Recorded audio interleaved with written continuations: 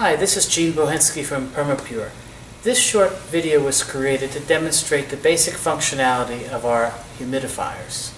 In this diagram, this is a FC series humidifier with multiple tubes designed for high flow rates, specifically in this case for fuel cells.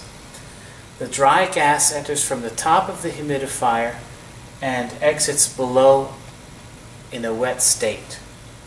The wet gas or water inlet that is used for the source of humidification enters below and flows counter to the gas being humidified and exits dry at the top.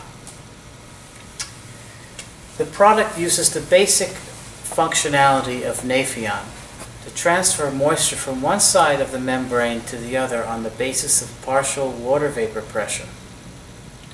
One important characteristic of these products is that they need to function with the pressure inside the tubes higher than the pressure outside the tubes.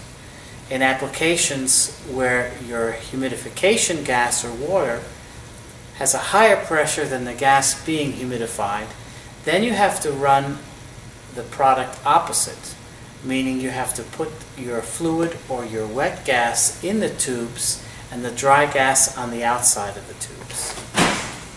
The product will still give you an excellent performance in this way.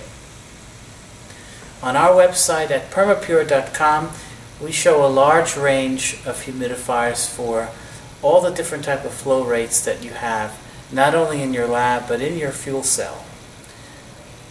And if you have any questions, make sure to contact us at permapure.com.